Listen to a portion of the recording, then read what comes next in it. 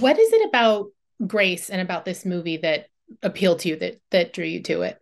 Uh, being anxious a lot, you know, sitting in the movie theater by yourself, and you, you know, and that's kind of me in a way, you know. And it's harder to connect, I think, for some people, you know. So that really, it was. I love that opening for that, and then um, it changes with the the movie changes with time, and it's kind of great because she has an opportunity to develop into something more free spirited as opposed to be anxious or did you agree with that i did i did i also really liked that um of of all of the parents in the movie she's sort of also felt like the most hopeful in terms of love like she had the the most positive outlook. It. yeah yeah speaking of rom-coms and i guess romance generally um you are such a staple of the genre and i want to know what is it about this kind of story if if that's not your outlook generally then what is it about this kind of story that resonates so much?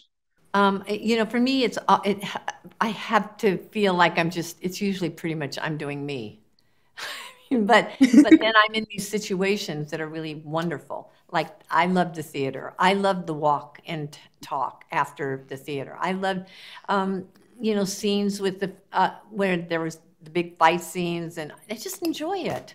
I just really enjoy it. You know, I I went to I went to acting school when I was young, the neighborhood playhouse with Sandy Meisner, who is like such a great, um, he really did give me so much. And now, you know, these things happen in our lives. Sometimes we get lucky like that, you know, and sometimes you don't. And I, he was really the reason that I had the opportunity to start and begin to act in scenes on stage. You know, I was in hair. You don't want to forget right. that. Oh yeah, give me down to there hair. I mean, you can imagine me singing that. It was ridiculous, but it was great because it was the first time I was ever on a stage in New York ever. So uh, it's been a really interesting life regarding that, the work and how it, it changes with time and what you do at one time. Maybe you let it go and you move on. So, of your body of work, then, if somebody were coming to your work for the first time, where would you suggest they start? it, it, all depends on them. You know, it's how do they, um, I guess, you know, for the most part, we all have to audition. So it's all about mm. that audition.